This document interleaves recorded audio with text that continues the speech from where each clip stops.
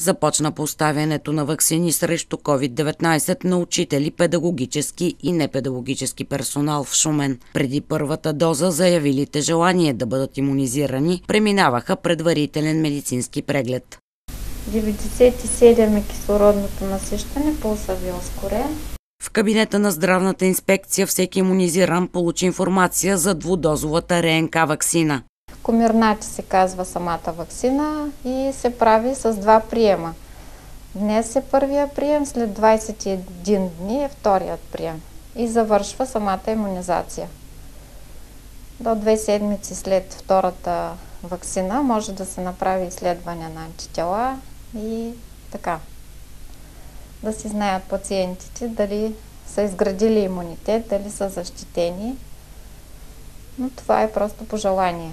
Въпреки първоначалните колебания заради липсата на достатъчно информация за ваксините, Мария Даскалова и Янка Десева се записат в списъците и днес бяха сред първите иммунизирани учители. Ми мотива е, че работя с деца, с доста хора общуваме и контактуваме и мисля, че една допълнителна защита ще е добре и за мен и за семейството ми. Пред варианта да се разболея избрах варианта да се вакцинирам. И аз имах известни колебания, по-скоро заради това как организма ми ще понесе вакцината, иначе бях убедена, че трябва да се вакцинирам, просто защото все още не съм боледувала. Желание да бъдат иммунизирани до момента са заявили 611 учители и 150 души непедагогически персонал от училищата в област Шумен. Списъците са отворени и очакванията са бройката да нарастне. На този етап обаче и сред работещите в сферата на образованието има резервирани към първите одобрени вакцини.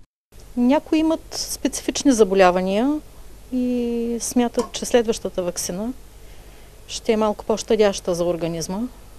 Някои просто искат да видят как ще се развият нещата и дали ще има бум на заболели. Вероятно.